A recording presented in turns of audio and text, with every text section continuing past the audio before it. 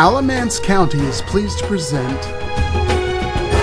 the Alamance County Commissioners Meeting.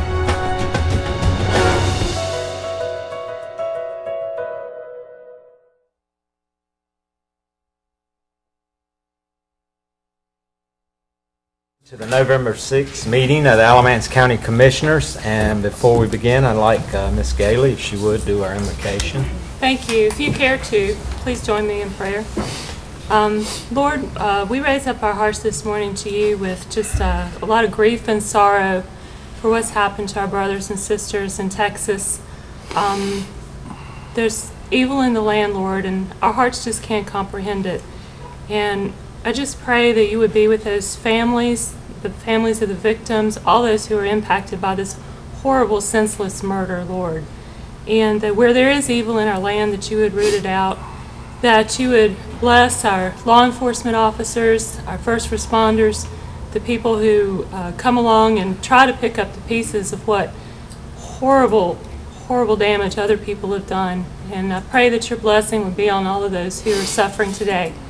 I also pray, Lord, for the family of um, Sergeant Ronald Clinkscales. You know, Lord, is a Alamance County Sheriff's Officer who passed away unexpectedly last week. And I pray that you would be with him and his family as they attend his funeral today, that you would watch over them, and that they would feel your presence and your peace with them as they struggle to try to understand what's happened and how they're going to go forward, Lord. I just pray, Lord, that you would put your hand of blessing on this uh, body, that you would help us to make good decisions that are honoring to you and that will build the community that will do right in your eyes and that will be a prosperous and peaceful place where we can all thrive. And these things I pray in Jesus' name, amen. Amen. Amen. You join me in the Pledge of Allegiance, please. I pledge allegiance to the flag of the United States of America and to the republic for which it stands, one nation, under God, indivisible, with liberty and justice for all. Thank you, Amy. Okay, um, I'm assuming we have no public speakers today, so we will move on with business then. Um, First, uh, I would like an approval of the agenda, if I could get it. So moved. Thank you, Bill. Second. Thank you, Bob. All in favor? Aye. Consent agenda, is there anything there that someone would like to pull, talk about? With that, I entertain a motion to approve. I move approval of the consent agenda. Thank you, Bob. Second. Thanks, Bill. All in favor? Aye. First order of business is a resolution approving the contract for capital and appropriating sufficient funds for our schools for their laptop computers. Commissioners, um, I would like to present to you guys the uh, laptop lease that the school system would like to enter into. Um, Our board has voted to approve the device lease. We plan to pay for these devices out of state funds. Uh, It's approximately $400,000 per year. This will provide 2,000 laptops to our teachers. Um, ma- The majority of our laptops that our teachers hold are five years or older as of the end of this year. And so we feel that the- a device lease to be able to get devices in the hands of the majority of our teachers um, as quickly as possible is most efficient for us, as well as the cost of the device, as we're able to buy 2,000 devices, is much cheaper than if we were to buy 500 devices per year. While we are paying interest because of the lease, we are able to get them in the hands of teachers to be able to use with students more quickly for them to be able to uh, do what they need to do with the students. Uh, did you mention the price on that, Shannon? Uh, it's the total price on it is 1.6 million, which does include interest. It's 1,632,494.72 which is an annual payment of four hundred and eight thousand, one twenty-three and sixty-eight cents over four years. This is a capital lease, so at the end of the four years, we will own the devices and do not have to send this, them back. So it is a uh, lease purchase scenario. So if we choose to use the devices in year five, we would be able to continue using them. We wouldn't be without devices. Okay. Question? Um, Go ahead. All right. um, So I was at the uh, school board work session and the school board meeting when this was discussed, and there was a lot of discussion around it, but the board did vote uh, to do this. But I was a little surprised that it required um, county commissioner approval. I don't think that was talked about at the school board meeting. I'm not sure. So I think we brought it up at one, at one of the meetings. It was later in the process that we discovered that it was gonna require county commissioner approval. And the reason we are here because it is not using county funds. Uh, we aren't allowed to enter in a lease that is beyond three years. Or there's a specified dollar amount, and I believe it's two hundred and fifty thousand dollars. And because the total lease is in excess of that, um, we do require commissioner approval, even though we don't plan on using commissioner fund, funds from it. Question, Tim? You may have mentioned it, I was looking at something. Uh, What are you going to do with the ones that you've got? The ones that we have, some of them will be placed into students' hands at the schools. Some of them are really just so outdated that are barely functioning. Um, We would look at various options at those, but the ones that are able to be put with students. You know how many will go to the students? I'm Dennis Fry, I'm the technology Yes, director um, for the district. Uh, We don't have a precise amount uh, as of this time because we've got devices that are more than five years old, up to about 10 years old. So we want to make sure that any devices that we retain are able, we're able to support in a way that's not more costly to the district. Yeah. Well, I don't have any que, uh, I don't, I support what you're doing. Yeah. I just want to know the numbers there. Sure. Thank you. I'll move that we support that. I'll second it. Thank you, Bill. Thank you, Bob. All in favor? Aye. Thank you, Shannon. Thank you, guys. All right. Next on our agenda, we have the Burlington Alamance Airport Sewer Improvement Project. And Mr. Danley, if you will come up and fill us in on what's going on over at the airport. Good morning. You don't have enough time for me to tell you what's I going on. know. Ma- Do the abbreviated version. Well, hey, good, hey, everyone, thank you for having me here. Uh, So, yes, we are doing some development, and uh, to bring you up to speed a little bit, the airport authority has water and sewer provided, has been for many years on the terminal side, on Highway 62 Alamance Road side. We've been developing for the last few years on the Anthony Road side and having to use septic tanks to do that. And we've gotten to the point now where we've run out of land that'll perk. We still need to be building and need to be adding bathrooms, but uh, we need sewer line. So we had gone to the uh, city of Burlington and asked them to help us with that. And uh, so they were considering that. I went to the state uh, DOT and worked to get a grant to help us with that. And there's a limited amount of money from the grant. Uh, It's actually $150,000, and we add 16 to that as our 10% matching share. So as we'll see in a second, I think the cost for this is about $507,000. So we went to the city, asked for help with that, and of course, installation, whole nine yards. And, uh, and the city had asked that the county may participate as well. So here's, here's where we are. A little update uh, on the airport, and a little, you've all seen my presentations, but there's an overview of the airport uh, today. And uh, let's see, this is the terminal side, and we do have water and sewer there. These, this is there it does not. And as you can see, there are a lot of hangars with bathrooms that are pumping into septic tanks. And what the county had worked with us a few years ago, we'd put in a septic field, and we could put three tanks per field. And I think we have three fields with three each, and they're, they're filled up. So we can't expand any further without uh, doing something different. We've been blessed, we've been growing over the years, and uh, currently, we're seeing an annual uh, uh, 75,000 operations a year. And an operation is a takeoff, an operation is a landing. So it's not actually 75,000 flights, but 75,000 ops a year. And uh, we don't have a machine out there clicking and counting that, but the state DOT has a way of trying to put the flights together to come up with that number. And we're housing over uh, 100 registered aircraft at the air- airport right now. 330 jobs supported around the airport. Uh, We're just, things are growing. There's 10 small businesses there, and uh, you've seen this, but First time that uh, ITRE did uh, a study of airports was 1996, and they showed a return to our community in 96 of $5 million. And uh, as you all know, I was proud of that. And let's go to the 2016 report, it's $114 million, and I'm more proud of that. So, and that's the state, uh, NC State University uh, does that study. So the service, what we're looking at, currently I'm working with LabCorp. Actually today, I've got uh, uh, contractors running numbers for me for, uh, in addition to the current LabCorp hangar. Uh, They've been looking at more hangar space. They can't move further until they have bathrooms. I've got two other guys who are looking to build some more corporate hangars there. Same thing, bathrooms. So there we are. This gives you an idea. This is the city of Burlington's engineering. Um, On that side of the field, this is actually, the blue line is our property line, so these are uh, outside of the airport property, uh, off of Lear Drive, Cessna Drive, I think Ernest Courage Development businesses.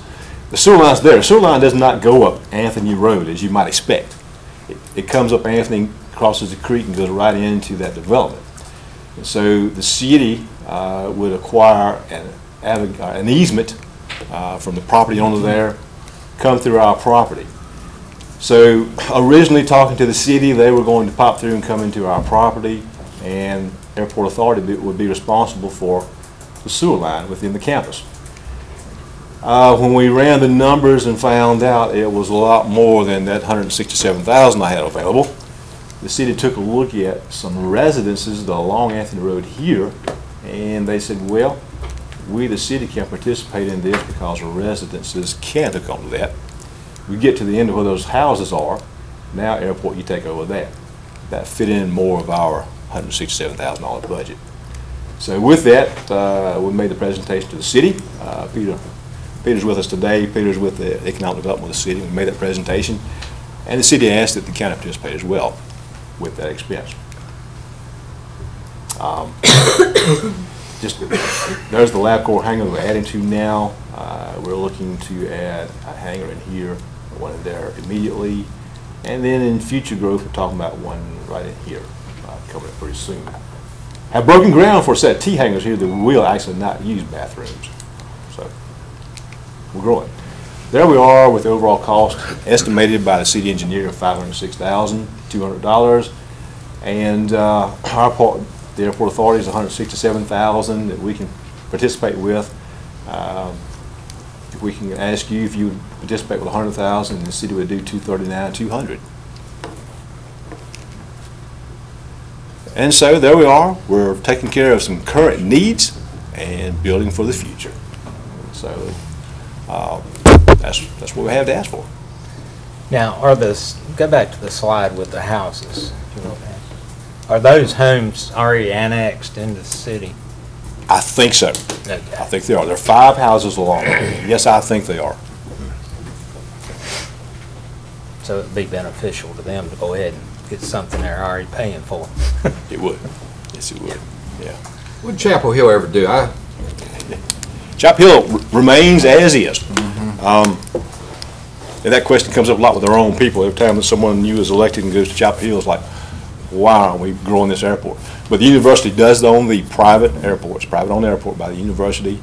Uh, They're not spending money to do any improvements there. They still plan one day to raise the the asphalt and build buildings on that site. Yeah, I'd heard they were gonna close it. Yeah, and uh, so people who are based there have relocated. We've got several have moved to Burlington. Um, We're glad to have them, too. We are very glad. Yeah. We are. Uh, Some have moved uh, to Sanford. Uh, They had a flying uh, uh, club. I think they moved over to Sanford. And, uh, but, but, yeah. But, uh, yeah. We're growing. Uh, Other airports around, public airports are growing. Uh, It's a good time to be in aviation. I was talking to someone yesterday uh, who wanted to get into the program at GTCC, and there's a four-year wait now. Wow. Uh, It's so filled up, and the GTCC is growing like crazy, so uh, a lot of good things. Would you please repeat where, with your um, laser, where is the line now and where is it proposed to be? The line is actually to the right where the laser is now. This is uh, Cessna and Lear Drive, and there's an industrial center there, and so the line is in there. And so rather than bringing it up Anthony Road, and there are a lot of engineering reasons for that, that they. Have to be a pump Got the city so council. forth. Yes. Yeah. This is a high elevation, so they're gonna have to pump up to Up it. to, yeah. If it comes from Alamance Road, had to pump up to us. Mm-hmm. So it was a big savings. Then another thing we found out, to get the line at the depths it needs to be here was a deep, there's gonna be some serious digging. And so that's one of the reasons for the cost being so high. But, uh, but here, so the green is what the city and county proposed would be paying for. and The blue is what the airport authority with a state grant would be paying for. Now, is this a pump system that will be installed? It's all gravity? It's all gravity. So you won't have a maintenance issue in That's the correct. future, so- That's correct. And so what we're asking is that the city would install it, the whole thing, beginning to end. Uh, We would reimburse them.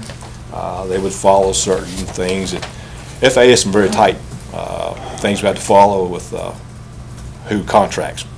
So we're asking the city to do that with us and make, make sure we qualify for the funds. Uh, We would ask the city to continue to maintain it.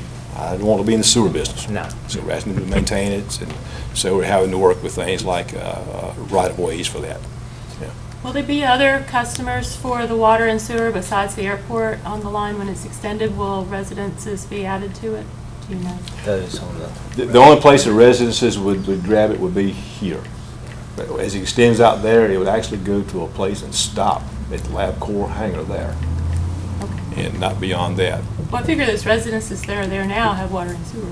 They I mean, have- They have their own. They have septic septic. tanks. septies, That's what I but mean. they've been Yeah. annexed and they Yeah. haven't got the sewer over there, so. Um, ha- have you done any projections on the financial benefits to the county and city tax-wise of your new hangars that you can? Uh, Sort of yes, sort of no. The, the existing hangars uh, that we want to tap into, uh, not a lot of additions to that from what we already have. Uh, I'm working with someone right now uh, who has just purchased a uh, a jet aircraft, $16 million. He's keeping it in Greensboro. And so, where's our numbers guy? Ad valorem on is, right. 16 We got one of those right there. How- What's the tax revenue on 16 million? Sixteen million dollars is uh, hundred eighty-eight thousand, three hundred sixty-eight dollars a year to the city and county. So let's see, a breakdown would be to uh, Alamance County, ninety-two thousand, eight hundred dollars. Right. And uh, to the city of Burlington, ninety-five thousand, five sixty-eight. Um, We're working with him about bringing this airplane there. He, he actually has a hangar in Burlington with smaller aircraft. Yeah. And this jet he's just bought will not fit in that hangar. So we're talking about building a new hangar, bringing him there. Uh, There's some concerns about maybe taxes a little higher here than there, but we're working with that, with him on that, and trying to work on that. Uh, We do have another jet aircraft. Uh, Actually, we've added from January 1 of 17 to about three weeks from now, we will have added $20 million worth of airplanes to the airport. Good. So. We're uh, glad to have them. Yeah. So Yeah. to to answer your question, the way I understand it, you- you're going to be able to build more hangars Yes. because of Right. this. And Yeah. that's going to generate tax revenue by having more Exactly. planes That's it. there. If we can get doesn't that sound like- sixteen million dollar jet, that pretty Yeah, much yes, covers. sir. I mean, I, I like the, the idea of, we- you know, it's not without precedent that we've done Yeah. Joint ventures with the city of Burlington and proposed projects um, and, and other municipalities as well Well- to, to run uh, utilities to, um, to places where we want businesses to come. We appreciate This it. I think, uh, I think Burlington back, uh, about, back in January or so, we did a sort of a work session, and they talked about kind of a set aside, stand by, be ready when the airport calls on them, and, and I think we mentioned sharing some of that with our Yeah. county manager. So I like, I like work, having a relationship with any municipality, but especially Burlington being the largest municipality. And I like uh, investing in our airport because we have economic benefits beyond just the tax Right. revenue. of those Absolutely. planes. Companies true. looking to come here, you've told me Absolutely. many The only thing I times. don't like is that it's not budgeted, but uh, given the circumstances, I think it would be a wise investment to go ahead and and Quick do this. turnaround on our money. Thank you. I have a question for the other commissioners. Um, Do you all know whether we have um, paid for similar projects for other towns, like in Mebane, developing some of the pla- economic development in Mebane? Has the county shared in extending water and sewer? We did that with Yes, we North have. Carolina In, Commerce. in Park, North Carolina thing. Commerce Yeah. Park, we certainly did, yeah. Yeah. Yeah, that was shared Yeah. between Graham, Mebane, and And we're So there's work- precedent for doing this Oh, kind of thing. It's not the Yeah. kind of thing that if we do this with Burlington, six months from now, another town in, in Alamance County will come back to us and say, well, you paid hundred thousand dollars for the airport, we expect you to do this for us now. With not but one airport. And we had- and there was Well, a, there are other I understand. economic development. This is something else, I think. Tell the airports for all municipalities. Right. and there was a, there was a project on the table that didn't materialize that run uh, water and sewer out to the uh, Guilford County Farm property in Alamance County. that's true. That City of Burlington was going to do that. I know this is a big crystal ball deal, but 25 years from now, which will fly by, Yes, sir. go out 50 if you want to. What do you think, uh, you- with that, how sufficient will that facility be? As far as uh, landing and, uh, As far as landing, uh, this, this runway now is 6,405 feet in length. Uh, I would say within 10 years, it'll be 7,000 feet in length. That's when a seven, what's your husband fly? Seven Ooh, I forty-seven. didn't know I was She going to get a doesn't pop know. quiz. Seven sixty-seven. 767 will be able to use us easily on the what's 7,000 feet. Greensboro's, uh, Greensboro has uh, 9,000 feet on their runway they use the most. The one they call the FedEx runway is 10,000. And if you remember, the one that runs parallel with Market Street that we grew up with seeing Right. is uh, 6,300 feet. So we actually have more than that now. That's a 37, 37. And everybody flew in and out of that Yeah. one at one time. So yeah, so that's, that's what we have. There's more to it than just length or strength. And right now, our strength ratings, um, it has to do with a, a value type type of your computer, go from 95,000 to 130,000 pound aircraft based on the landing gear that's under that type thing. So again, it's in the 737 uh, range. Uh, Jeff and I have been talking about that today with some, some, some uses. So, um, an example is, uh, Elon charters a Embraer 145 regularly to haul ball teams on and, and this uh, 50 passenger jet. So he comes there now regularly, and, uh, it's kinda cool. Uh, It's, we have growing pains because when that jet pulls in, where does everything else go? There's no room. So, uh, we're working to expand and grow. Twenty-five years from now, do, if you'd asked me this recently, I said, no way we'll ever have airline service, don't want airline service. But we're get- beginning to hear more and more questions about that. Uh, There's a lot tied to it. Uh, When you go to Greensboro, you pay more for a ticket than you do if you go to Raleigh or Charlotte. Uh, the Airlines don't want to serve small airports. Greensboro's a small airport. In the aviation world, Raleigh's a small airport, believe it or not. And so airlines look at that. They look at, they'd rather people drive an hour, hour or two to get to places. But we're beginning to see some regional needs. Uh, Our charters, uh, we have one base charter group there with, with a couple of aircraft. They fly all day, every day. Other charters are in and out every day. They're busy, so we're beginning to see some needs for that in the future. There's a lot to that uh, with security. We're doing a new security fence now. There's a lot tied to getting into the uh, air carrier business. but you don't think Air Force One will do touch and goes at your strip anytime soon? Air Force One will not, however, what they call Air Force Two. Uh, gosh, I don't have it with me, but he was in there not too long ago bringing uh, someone to some meeting from somewhere. It was a smaller Gulfstream jet.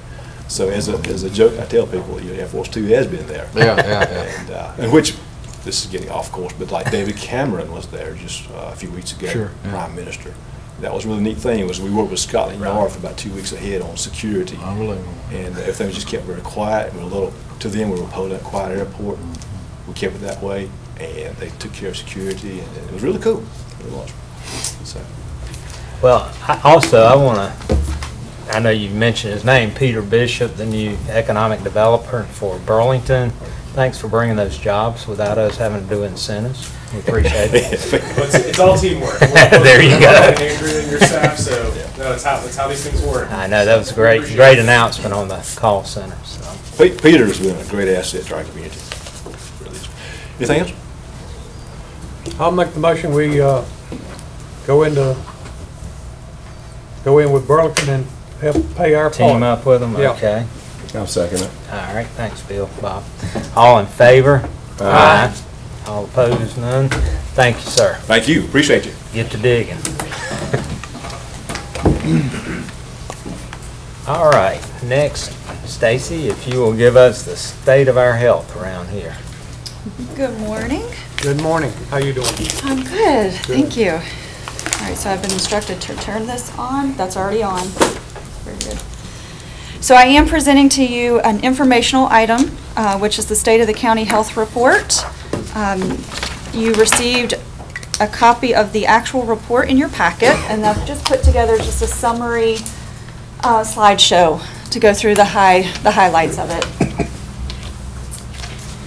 And so just to give you a little background, um, what you're looking at um, is called the SOCH, which is the State of the uh, County Health Report, but that is um, part of a bigger process, which is known as the Community Health Assessment, and that community assessment is conducted every three years. That's the very large document that you're probably familiar with um, that determines the top health priorities based on primary and secondary data. So that means not only do we look at the secondary data, which is sort of aggregate data from different data sources, we actually do primary data collection through community polling um, in forum groups. So we actually ask the people of Alamance County, uh, what are the top health, uh, health priorities for you?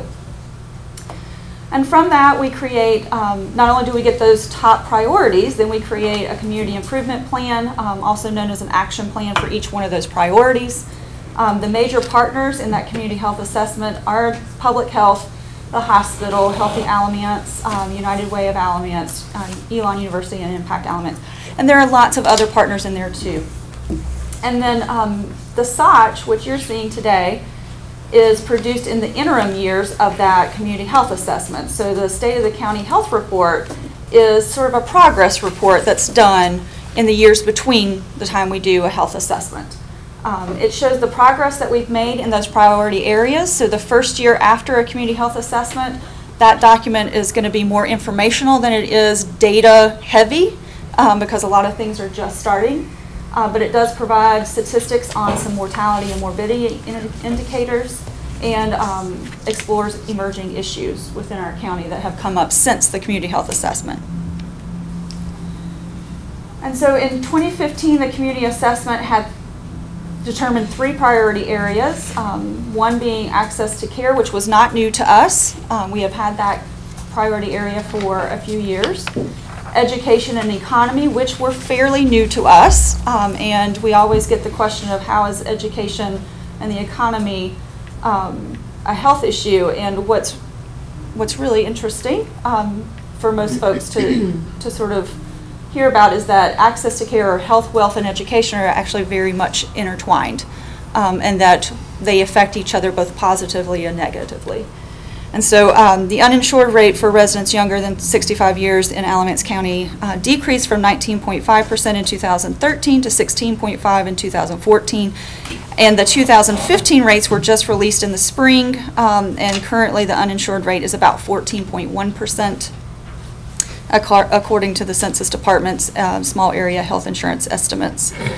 In terms of education, the 2012-13 graduation rate was about 78%, and the 14-15 graduation rates were approximately 82.1%, which I think was the highest for the district. Um, and the I just checked the 15-16 rates, and that it looks like it's holding at about 81%. And then as far as the economy, the percent of children living in poverty remains higher than the state. Um, the most recent kids count data, which is 2013, that's the tricky thing about data, particularly secondary data, is that it takes uh, at least one to two years to get um, an update, indicated that about 27% of children are living in poverty. And so, like I said, there, there's definitely an interconnection between health, wealth, and education. Um, and that typically they do affect each other um, both positively and negatively. That when we have higher education attainment um, and better access to education, that we typically do see the other two affected. And when we have better access to care um, and quality care and can help folks be physically healthy, we actually see um, an increase in the other two. And then the economy, of course, that when you're um, more access to jobs and better paying jobs and living wages, then we see the effect in that as well. And so I'm just going to run through a quick um, update in, which in each one of the priority areas. Um, and for access to care, the main, uh, the main highlights there, um, and like I said, this is not data heavy. This is more just sort of what are the activities that have been going on since the community health assessment um, was published in 15. And um, this past year, we've been we've been involved in convening the um, Affordable Care Act work group that includes public health, but also United Way, legal aid, library system, and other partners. Um, And that's one of the things that I like to tell people, that public health is not just done in the walls of your health department, um, and it doesn't just involve someone who works at the health department. The public health has a very large family, um, and there's a reason that that earlier diagram is interconnected as well, and public health works that way too, that we find ourselves in all kinds of places. Um, and we, we have family members who come into our world um, on different occasions as well. Our FQHCs, um, which are our federally qualified health centers uh, like Charles Drew, um, that are run through Piedmont Health, and Legal Aid provide navigator services for those open enrollment times, um, which are actual folks who help someone um, do the application, that actually sit there the entire time with them. Um, and we were uh, lucky enough to have our Elon Alamance Health Partners, which are those postgraduate fellows that are placed in the health serving agencies for one year, also trained as certified application counselors, and those are folks who can um, help, help someone find the application um, and help them understand different parts of the application, but don't actually navigate the entire process. In addition to um, the ACA, we have um, also our um, evidence-based group prenatal care program um, and additional support to that evidence-based um, prenatal care model, which is centering pregnancy. Um, and in that, we coordinated training for a volunteer doula program, coordinated community program, provider training in the long-acting reversible contraceptives, and expansion of the Safe Sleep program, um, we currently did, or we currently do, cribs for uh, kids through the health department, where if we find families who are in need of a safe sleep um, environment, we can provide a pack and play. Um, and I'm not sure how many of you are familiar with that, but unlike a crib, which is uh, quite a large structure, a pack and play is a portable type of crib that is quite small, um, smaller, but also very safe. And so for families who um, do not have other safe sleep options, we're able to give them a pack and play um, to ensure that their newborn um, and infants have a safe sleep. Because safe sleep is um, directly related to sudden in infant death syndrome. And we expanded that program to COPS and cribs. Um, and in that, first responders actually can give out cribs when they're responding and see a family in need. Um, and so we were lucky enough to do that. And that all feeds into the access to care. Um, and I put in here, and you'll see it under new initiatives too, but stepping up um, really for the, for the health department falls under an access to care priority, and that's why we're really lucky and really um, very grateful to be involved in that, um, because for us, that also is an access to care issue, particularly around mental health services and resources, and I'll talk about that a little more um, in a little bit. And then for the education update, um, we have two early literacy programs in our community. And again, this is a, an example of that this is not just about what the health department does, this is what we do with our community partners, and this also um, allows us to highlight some of what our community partners do for their own mission um, of their own agencies. And so Reach Out and Read is an evidence-based program. You'll hear me say that a lot. We believe in the science behind programs. Uh, we like programs that have science because that also means that they typically have really good outcomes and we like to be able to replicate that. So Reach Out and Read is an evidence-based program that combines literacy with pediatric care. So as your child comes into their well child visits, um, they receive books.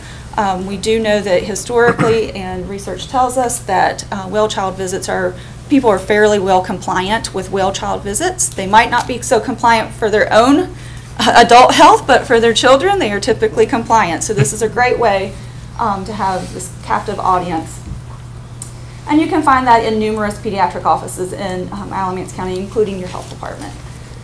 And then in the past year, um, the Dolly Parton Imagination Library was expanded. And so this is a program that actually is open to all children in Alamance County, uh, birth to five years old, that they can receive one book per month. Um, and Thanks to the really hard work of the Alamance Partnership for Children and Impact Alamance, we were able to expand that in our county. Um, their work is incredible, um, and so by the time that child is five, they should have about 60 books if they were enrolled at birth. And then also um, our sort of flagship education um, initiative in which public health is involved is Alamance Achieves, and that's the cradle to career approach to improving the futures of our children in Alamance County. And um, again, there's that research that shows us that better education and higher educational attainment is linked to better health outcomes. And then there are four major goals within that initiative, um, which is every child is well, healthy, and ready for school. So you cannot, you can clearly see where public health fits in there. Um, every child succeeds in school. Every child graduates prepared for post-secondary learning, and every child is on track to achieve their career goals.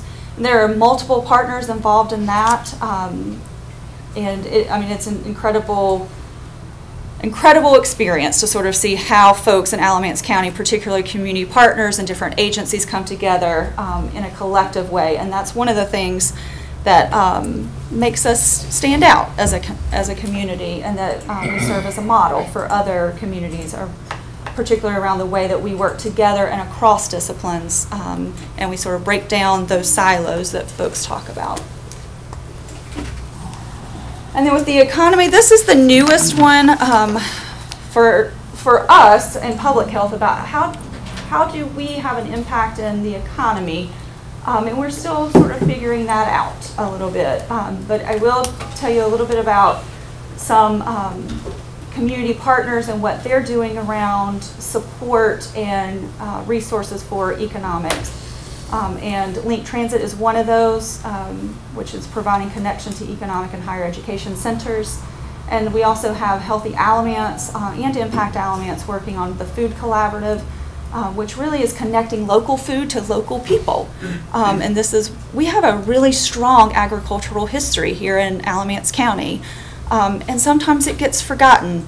And this is one of our local initiatives um, headed up by Healthy Alamance around really connecting folks back to those local farmers and the local food system and how do we create a more robust um, food food system um, that can then also move, uh, produce into our own economy. And so we're doing that through farmers markets. Particularly North Park in Motion is one of the um, successes there. And if you haven't been out, um, the season has ended now, but they'll be back in session in April of next year, I believe. And it runs through October, and it's um, on Tuesdays from 3 to 6. And it's a great example of how um, bringing different local farmers into an area um, that historically has been impoverished um, and how that can change an entire neighborhood. And so also in um, the SOTCH, we have um, the new initiatives, and so these are the things, and I apologize that that's not showing up quite as nicely as it did on my computer. Um, these are the new initiatives that maybe have uh, started after the community assessment in the SOTCH, or after the community assessment was already done. Um, and I want to tell you a little bit about how they fit into the existing priorities. So you all have um, heard a lot about stepping up, and um, this is probably one of the most exciting things we're doing in our community. I was lucky enough to um, visit San Antonio with the group, and I do think we're going to be talking to you all in a couple of weeks about that trip. Um, and so this is pretty exciting. Like I said, um, the, the largest and the most robust uh, new initiative is Stepping Up. And um, this is one of those collective approaches to solving a problem that, like I said, makes us so different in Alamance than other communities. And um, this could have easily been designated and signed off as this is a sheriff's office problem, and that is it. But we had a really great champion in our sheriff and our elected officials um, who said, you know what, this is bigger. Um, and in order to really make this successful, we need other folks at the table who can help us think through this. Um, and so it went way beyond the walls of criminal justice in that jail. And um, is really becoming, like I said, really exciting and we'll have a, if successful, when successful, we'll have a lasting uh, impact and um, improvement in health outcomes. And so you've heard um, our sheriff and our chief deputy talk about how our jail system should not be our leading mental health facility, and that's true. Um, and so we, you'll be getting more of an update about what that looks like for us, but really that that's an access to care issue from a public health standpoint and from other, from your hospital standpoint, from your DSS standpoint as well, that folks who find themselves in, in the jail system when really they should be in other services will have better outcomes if we can get those services to them and create a system that doesn't have holes in it where they're falling through. And then um, other initiatives up there are um, the Triple P, which is not necessarily new um, for Alamance County. We have been doing Triple P, which is Positive Parenting Program, since about 2011 um, through a large SAMHSA grant, and then that grant sunsetted. Um, and we continue to do positive parenting program within our county. But in the last year, um, we actually had the opportunity to do a regional cluster for funding with Durham County as well, which sort of re-energized how we do positive parenting program. And this is a program that normalizes child development. Um, so things that um, children go through as they're growing up can seem really frustrating. Um, as a mom, I can say that. Um, and sometimes you might be thinking, what is wrong with them or what is wrong with me? Um, and sometimes this, this approach actually um, helps parents understand that some of this is really normal. And let's start normalizing some of this and that, no, they're not bad kids, and no, you're not a bad parent. Let's talk about strategies to kind of get through that. Because parenting is tough, and it's really frustrating. And so, um, with our new regional approach with Durham, we're able to expand our Triple P um, programming not just to pediatric offices or the school system, but also child care facilities. Um, this is where a lot of children spend um, eight or more hours with someone who is not their parent. Um, and so we want those child care providers to also have the same types of training that we would be providing their primary caregivers. Um, and so that's pretty exciting for us. Healthy Beginnings is a care management model, um, and this also fits into our access to care priority. It is a grant-funded program that expands the existing pregnancy care management um, services to more women and therefore more children, um, and in the end, increasing um, the likelihood of positive birth outcomes. Because um, what we found is high intensity, high touch um, for our populations that are the largest at risk actually do, do, does improve their birth outcomes. And then lastly is Smart Girls. Um, I talked to you a few weeks, ag- or maybe a couple months ago now, about our teen pregnancy rates, and those have really um, gone down over the last 15 to 20 years, but that doesn't mean that we stop working on um, teen pregnancy. And so Smart Girls is actually a um, life choice and life decisions curriculum that does have a teen pregnancy prevention piece to it, but it really is about creating um, good choices for you throughout your life, whether that's different types of relationships, what career goals you have, what educational goals you have, those sort of things. And then the emerging issues, um, these varied. we are seeing a rise in sexually transmitted infections. Um, that is also being observed nationally. Um, more common in the younger populations, which is not new. That has been the way STIs are for a really long time. Um, and as we look at trying to figure out why are we seeing a rise in sexually transmitted infections, some of those contributors um, to that increase are that we're doing a really a, a, much better job at screening. We have better tools now to screen. So folks who were going undiagnosed um, are now being caught by better screening techniques. Um, and there's also, you know, a lack of access to regular care, particularly in those younger populations. Um, they're not always the folks who are going for their regular checkups. Um, so we do have some of that at play as well. And one of the things that we've done, particularly for public health, is implemented the um, STD enhanced role nurse um, position. And this is a modified RN position that can act like a provider. We actually call, affectionately call it a nervider in the health department. And so based on standing orders of our um, directing physician, can provide um, medical services in the STD clinic. And this allows us for greater, allows us at the health department to have greater access to appointments, um, to be seen when you want to be seen. And um, if you walk in with symptoms, then we can see you as well. And then um, second, um, as you all are keenly aware, um, that the opioid abuse issue is growing, not only in our region, but our state and um, nationally. So as we think about how will we combat the opioid use um, epidemic here in Alamance County, one of the things that um, I can tell you that is happening, and you're aware of it as well, is naloxone use among our first responders. Um, we also have, in the last year, the state health director standing order for retail pharmacies that folks can walk in and get naloxone from a retail pharmacist. Um, we also have medication drop boxes um, at the sheriff's office, at Elon, Burlington, and Mebane PD.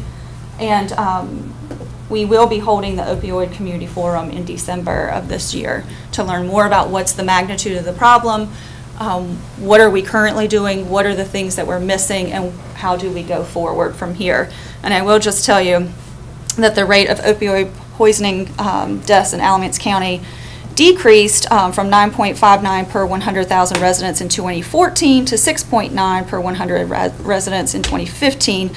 And um, the data was released in October 2017 that showed a slight increase in opi- opioid deaths in 2016 to about 8.76 per 100,000. And that constituted a, a total of 14 deaths. May I ask you a question about the opioid? Yes. First of all, what's the a- age average for uh, people involved in this as far as, Right, so this one, um, it tends to be more middle age, we're seeing more of the middle age Mm-hmm. coming into it, um, but it doesn't, doesn't necessarily discriminate. Okay. Um, we do still have younger that's what I'm trying to get at in a way. Okay, so middle age, possibly. I think there are certain drugs that are clearly gateway drugs. Now, I'll argue to cows come home, Marijuana is a gateway drug for other drugs. Hope they never legalize drugs. But do you see that there's a gateway situation with opioids? So what I can tell you, and the sheriff can probably help out here too, um, what we know about the opioid epidemic is that um, this this was one where we had a lot of prescription use and misuse of um, prescriptions that were well intended um, for legitimate reasons, um, and either folks are getting addicted themselves to their own prescriptions, or others, or are coming in to get their prescription drugs and using them and misusing them. Um, we are seeing research that shows us that there are high levels of prescriptions made for these really tough um, or really high intensity types of drugs. Um, and so the STOP Act, which was um, passed this, pa- this past legislative session, um, does start to look at prescription trends and how folks are actually writing those prescriptions and distributing those prescriptions, um, particularly use of databases to sort of start tracking that and how many prescriptions do you have and where do you have them, um, and also putting limits on the amounts um, that you can receive with prescriptions. Um, that's just the prescription piece of it. There's still um, what we would call illicit or street drug use as well. Are they linked to uh, age? In other words, prescriptions, and I mean, can you see a trend of prescriptions and the age of the, I don't have that data as far as. Mm-hmm. is um, it out there though? Um, I'm not entirely sure. I just haven't seen that. Can can I comment, uh, you know, we're going to have this opioid forum on uh, December the 8th, and you should have all gotten an invitation to that, I hope you can come. Uh, We're going to have uh, some really great panel discussions, we have um, so, uh, a gentleman from the Attorney General's office coming to present. We're going to have Dr. Lamb from the hospital, uh, Dr. McShane, who's an emergency room doctor who sees everything coming into the emergency department, talk about it. So the idea is to, uh, Stacy's going to speak, I think Susan's going to speak. Um, The idea is to bring all elected officials together, as well as other community leaders from different agencies, to um, sensitize everybody about some of the questions that you're asking about, Tim, and uh, look at trends, uh, uh, just be aware of the issue, and also be aware of the resources that we already have in our community to address uh, addiction and, and uh, treatment. And then we're going to break out into roundtable discussions and try to identify some gaps and some next steps for our community to really help address this. Well, I hope there won't be any limits. Now, you know, I'm a firm believer that we prescribe things to our kids now that don't need to be prescribed beyond normal limits. Believe that with all my heart. North Carolina had the highest rate of ADHD in the United States at one time, coming out of the CDC, 15%, which is absurd. So if you start prescribing to, to kids needlessly, and then they grow up to be the adults. They grow up to be people who are dependent on these crutches. And I hope there will be no limits in the investigation on this. And I just have to give you my two cents worth on that. But you can roll the clock back to the very day that somebody takes a prescribed drug and then see what their life is going to be like in the future. Um, Abuse, overuse, uh, and uh, untruths about their being. And I hope you, I hope everybody will go all the way back to when somebody starts getting prescribed anything in this, you know, in this arena. And then if you got overuse, over prescriptions, and a liberalization of doing it as if, well, it's just, it's just the drug that it is, and flippantly res- respond to it, then you wonder why, as an adult, that this person is really saying, I gotta have something. Because they've had to have something all their life, and society helped push that to a degree, in my opinion. There's been, I won't mention the name of the administration, but you had a presidential administration that said, we need to get more drugs out there for people, because there's a shortage. And then you turn around and see the numbers that you've got, and you wonder why. So I hope there'll be no limits on how far back you take the clock on the process. And like I said, I- this is one of those areas that um, overlaps a little bit with our mental health um, piece in the jails It- as it well. does. Um, What we know through research um, tells us that comorbidity between mental illness and substance abuse can be as high as about 70 to 75 percent. Um, So we know that particularly as the sheriff is facing um, some of the highest um, folks, high mental health cases coming into the jail, that often that is also uh, linked with substance abuse, as um, they could potentially be self-medicating at that point. So much more to come on that. Um, And then, in the past year or two, um, we saw the emergence of a new um, communicable disease. Um, It wasn't too long ago that you all had me come and I told you that we learned a few new words, um, and that was like chikungunya and um, Ebola and all these sort of things. And this past year, we also had a new one that we learned, which was Zika. Um, and this in particular um, really affected um, our maternity clinic, um, and not only our maternity clinic, but also all of our local OB offices as we um, began to learn what should we be looking for um, in order to test women to see if they're at risk. Um, and so pregnant women were at greater at risk because um, of the developing fetus um, and for poor birth outcomes. Particularly of note was the microcephaly that we saw, um, that um, we saw large amounts in South America.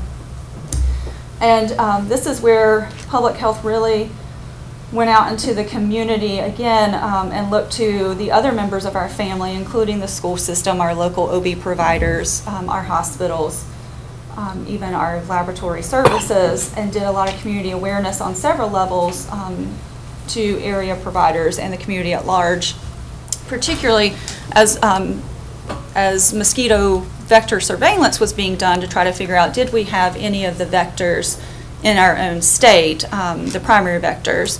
And so we did a lot of um, research, a lot of community awareness around tip and toss. So um, stagnant water in your backyard um, is a perfect breeding ground for mosquitoes, and just sort of treat, uh, teaching folks that quite literally all you need to do is toss it, and you've pretty much gotten rid of the problem. So, so that was um, those were our are new and emerging things um, that came out of the SOTCH. I think that's it. Didn't I see somewhere that they have taken the Zika infected mosquitoes and are using them for some kind of medical research to help Alzheimer or I don't know. I've I have not seen that. Not long ago about that. I'll, I'll write that It's one down too, because I wrote down the Things like that. prescription by age. But, um, Yeah. Yeah, I'd like to um, compliment Stacy and what we're doing in our health department. Um, First of all, Stacy is well-regarded statewide, and she's She taking a leader- leadership position now in their State Health Directors Association.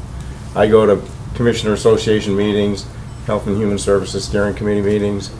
Uh, People just think, have some great things to say about Stacy and how lucky we are to have her as our health director. We are. I hear from the uh, local health department accreditation board, and uh, it's just really nice. And, but then, if you, just to think about the, uh, it- it's a tough job, and the knowledge that she has to have in all these different areas, that's one thing, and yet it's another, the collaborating that goes on between our health department and other community partners. And th- this is, this is a great place to live and to work because of that.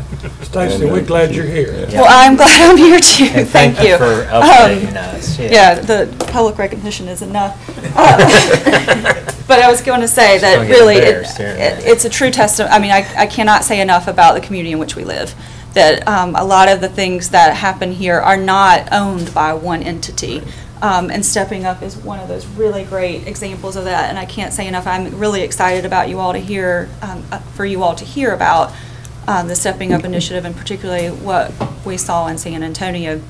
But it is a really great example of how, in order to improve um, the outcomes in people's lives, you can't just sort of sit in your office or sit in your building and do the work. Um, That it requires good relationships and um, bringing your own expertise to a table that might be unfamiliar to you at first. Um, And so I can't say enough about the collective work that we do in Alamance. We really are seen as a model for the way that we do our work. We are. I think that's it. We do know how to collaborate We for do. various causes and things, and in the fine end of it, the citizens come out the better. Any other questions? Before you go, this may be something to come back on, Okay. but there's three areas I'd, I'd like to know more about, and I think there's some good reports here. Um, If you look at the state of North Carolina Department of Health and Human Services, TB, tuberculosis, you know, that keeps cropping up every now and then. There are 195 cases, this is 2014 report, 195 cases across the state. We're showing zero here in Alamance County by that report. And what year was that? Uh, tell- 2014. And so I don't know what it is today. Uh, There is a difference between active and, and. uh, And latent. Yeah, okay. So if you could comment on that briefly, and then um, according to uh, AIDS View, VU, and these are stats coming from the Center for Disease Control, that uh, Alamance County is showing 275 cases per 100,000 population, uh, HIV. And then uh, hepatitis C, in 2010, since 2010 in North Carolina, there's been a 300% increase of hepatitis C cases. I don't know what Alamance County's position is on that, but if you could briefly hit Sure, right now? Uh, just briefly. Yes, okay. And then Um, I full- full can, and then what, what we do for the Board of Health is actually, we do a communicable disease um, sort of summary. If you all would like to see that the next time we do it, I'll be glad to bring that as well. Um, The TB for 2014 probably was zero. Um, TB is one of those, I don't know all of them off the top of my head, but TB is one of those that um, is feast or famine almost. Um, Some years you'll go and have no active cases that you've identified, and then some years we might have a few that we identify. And a few meaning three to maybe five is- would be considered, you know, a good deal of TB for us um, at the health department. Um, And so that's not surprising um, if, if in that year we didn't have Now, any. latent and active, could you define it real briefly? Um, well, I, I will say, disclaimer here is that I'm not a medical provider. Um, but active is just what it says, is that there's active in, infection, whereas latent is that you could have had an infection and, um, we'll see the antibodies and those sort of things, but you're not actually contagious, whereas Is there a difference between active and test positive Um, or exposed? I will check for you. Mhm. we use the terms active and latent, because you could come up with a, a positive screen, depending on what types of antibodies we looked for, because each different type of antibody, um, some of them show up only in an active type of situation where you have actual bacterium um, at the time, whereas others are there um, almost historically to tell us that you did have that infection at one time. So I can check for you about Yeah, that. in that same report, Guilford County's got 20, 20 active, and we're showing zero.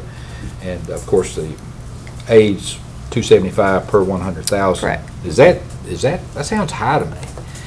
I'll have to check for you. I don't know what our trends were on um, HIV for the last several years. Um, But the Hep C piece of it, I can tell you that um, both HIV and Hep C, um, as intravenous um, drug use Right. increases, we do tend to see um, higher transmission of those as well.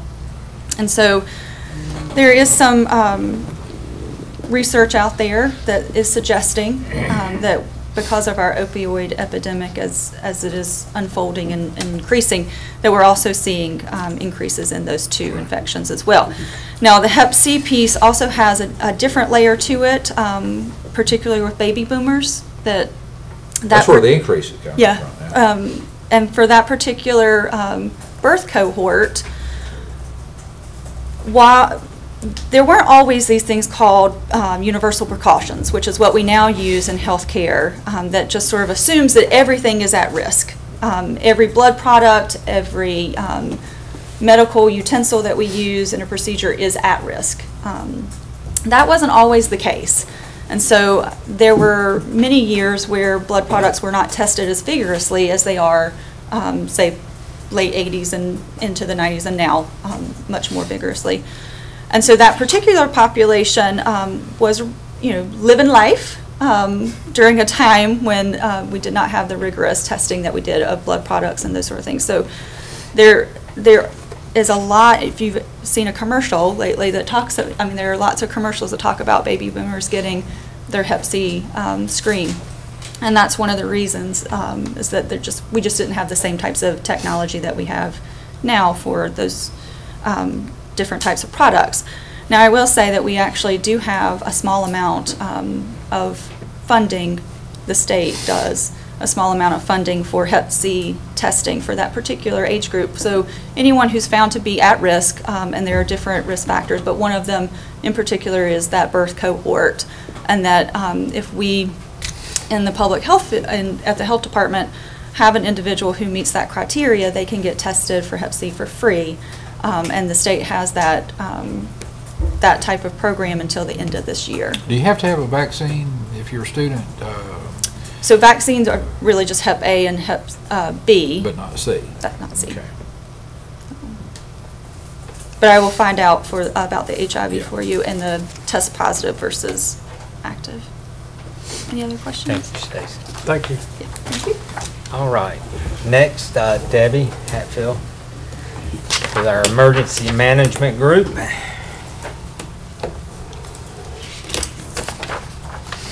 morning. Good morning. morning.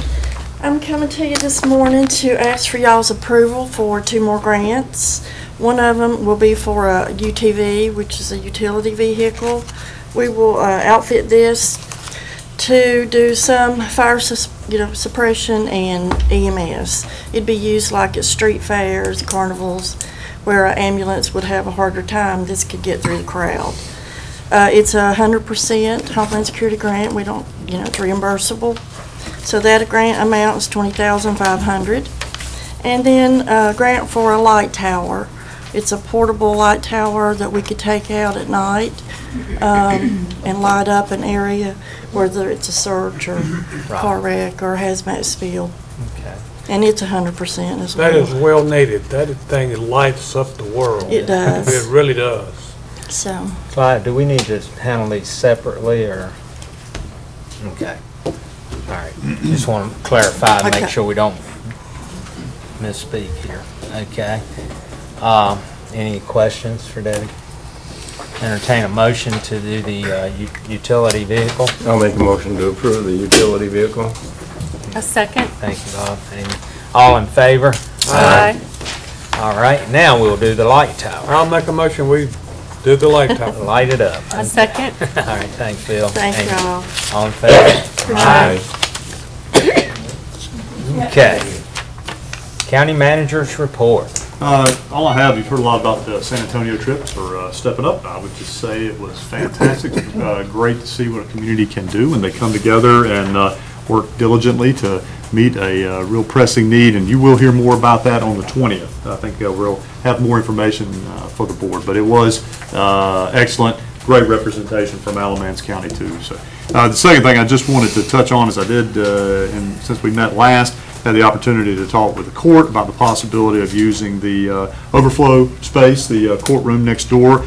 Uh, It doesn't appear that the commissioners would be able to use it during the day. Uh, They, they use it uh, quite often uh, during the daytime, that would not be possible. However, nighttime would not be a conflict. So uh, what I would like to do is just ask our maintenance and IT staff to get some idea of pricing to outfit that room for evening meetings, and if the board wants to do that. You know, when we look at our breakdown of numbers that fire marshal office keeps, it's primarily our evening meetings are usually uh, attended at a point where we are flowing over into overflow. So uh, this is an update. We're going to look into it, see what it would cost to outfit that room. It might be the board could consider daytime meetings in here, nighttime meetings through the, through the door there. So um, I'll get you the information on what that'll cost, but that's all that I have. All right. Commissioner comments. I'd like to uh, comment.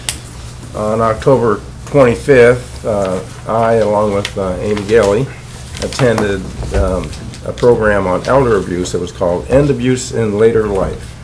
And it it was good. It's it's about the implementation of a grant that we have to the Family Justice Center from the Department of Justice.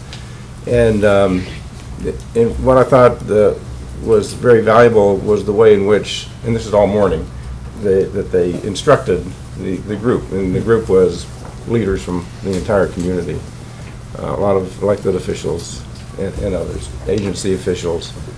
And um, they used a case study of an elderly woman in Wisconsin, I think she lived, and went through how she was being abused, but they didn't tell all the pieces of the story. They, they left it up to uh, some, us, well, the sheriff was at my table, but we were deciding how, what, what might have happened to the person, where it could have been stopped and so on, and so they kept going through one scenario with the same person along her timeline. She eventually passed away. Um, But um, I think, uh, I think we're well-positioned to do good work here again because of the, uh, what Stacy was talking about and the way this community collaborates in in a collective sort of way. And so I thought that was very good. I I just wanted to remind you once again about the opioid forum uh, on December the 8th. And I wanted to ask about uh, the status of the, um, the response that we made, that was, I guess it was the Department of Environmental Quality, Libby, of of the watershed The Jordan Lake rules. yeah, Jordan Lake rules and our deficiencies that was pointed out, and we sent a letter, I understand, and did we get a response, and where are we? No response. No. I I do get calls from um, commissioners, like, uh, there's a commissioner in Chatham County that is real concerned about what we're not doing, that we should be doing, uh, as far as, you know, water quality downstream from us, and I think, I'm, you know, I think that this is something that's very serious, that we need need to make sure that we're on top of, so. We'll wait for a response, I guess. Yeah. Anything, Tim? Chatham County, huh? Uh-huh, downriver. Yeah, Maybe if they didn't have so many chicken plants, they wouldn't be polluting the water so much down there. Amy, did you have True. some comments? Yeah, I had, I had uh, just a couple of things. Uh, I wanted, since Rob brought up the elder abuse grant kickoff event that we went to, one of the things, uh, so we did have a case study and we talked about it at our table. There was a group discussion at the table. And um, one of the things that really jumped out at me is that, uh, so it was an elderly lady who, over the course of years, had been apparently abused by her husband, who was controlling and so forth. So our table kind of had the idea of approaching it, I think it comes from the Stepping Up Up initiative and other sort of things in the county where, how can we help this guy? You know, this guy, the abuser, maybe one way to approach the problem is to see, does he have mental health issues? And the moderator was from Massachusetts, and she was all about, the, you know, the, sh- she definitely her perspective was very centered on the victim of the domestic violence, and she kind of brushed us off. You know, well, he's he's a bad guy. He's done. You know, and um, I just thought that that uh, the community in Alamance County cares about all people. You know, we don't look at this is a bad guy, this is the good guy. I think that in general, we tend to look at it that we're all in this together, and how do we look at people and look at people as people?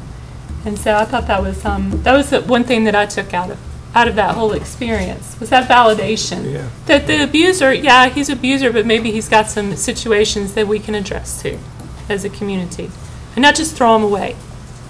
So those wanted to mention that. Um, I wanted to report to the board that I um, saw Mark Daniely last week at uh, the Ag Building, and he introduced me to the new food services uh, employee who uh, has been hired this year, was provided for with the county budget.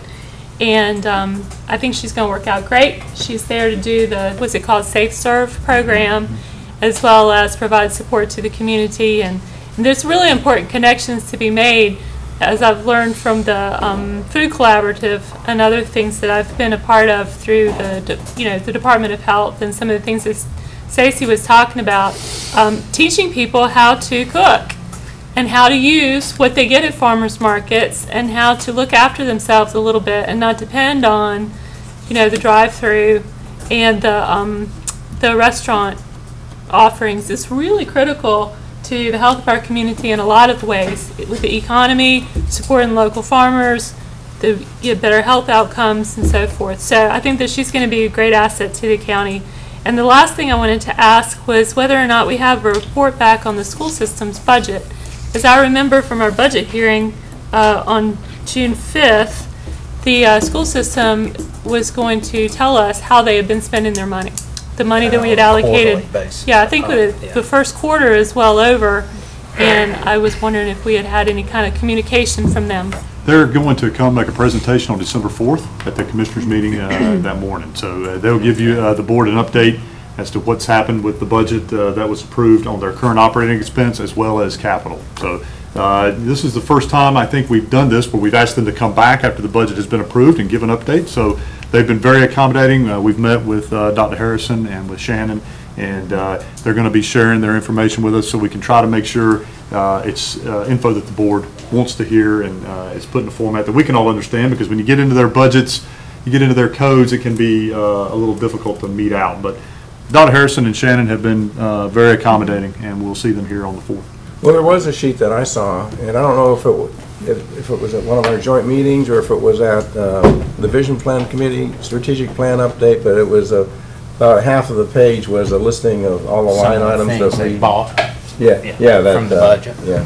I know they have, they have provided information on what they did with uh, some of the increase. Well, that's what I'm talking about, is Yeah. the increase. So this on the 4th, they'll be talking about their, Their their entire overall budget budget. and uh, what, what they've been doing with the county uh, portion of the funds, both the capital and uh, operating. So I think it'll be very good. It'll help us all better understand uh, how the school system spends our dollars. And and again, I can't stress that they have been very open, very accommodating too, so. Yeah, there was that thing, it was what, the it was a projection of what they would do with the budget increase. What I'm That's asking what it was, about right. is what, what has happened since that, since then. Yes. Okay. Last uh, week, Farm Bureau had their annual meeting, and our local representative, Steve Ross, was presented for Legislative Champion of the Year, basically, because he helped put some legislation back in for farmland preservation. Now, with that, in the future, I think we will probably be looked at again That's to come back and yeah. match that or whatever, because it's important that we do that, and I know Amy has championed that as much as she could, and, uh, It's one of our pillars, so. yeah, Yeah. it's one of our pillars, so we gotta look at it. And also, the county line issue, we were gonna talk about that at our next meeting, and just wanna make everyone aware of that, that's effective. County line to Guilford County. Uh-huh. That'll be at our next, so we can get a resolution into the General Assembly before they close out for the year. Is that gonna be joint with Guilford? No, this will be our meeting, ne- no, No, not meeting, but is it a joint uh, resolution that Yeah, they it's, agree with? it's the one Clyde had sent out to look at. hmm So, just want everybody to be aware of that, and we'll look at that. So, When we do that, can we have a, a map of the orange Alamance line? so we can show the, show the situation over there versus what this one will be. Possible. Yeah. And also, I've asked Brian if he'll Don't bring leave out the cul-de-sac. bring us some tax information on what we will offer over to Guilford in our surrender. Do what?